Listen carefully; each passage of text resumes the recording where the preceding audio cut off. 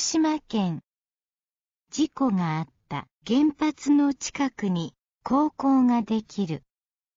福島第一原子力発電所の近くの広野町に福島県立双葉未来学園高校という新しい学校ができました。東日本大震災と原発の事故から復興する。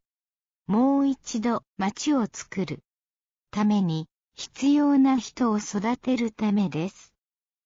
この学校は原発から約25キロの場所にあります。8日、学校ができたことをお祝いする式がありました。福島県の内堀知事は、最初の年に入学する皆さんが未来に向かって歩く姿は復興のシンボルになります。と話しました。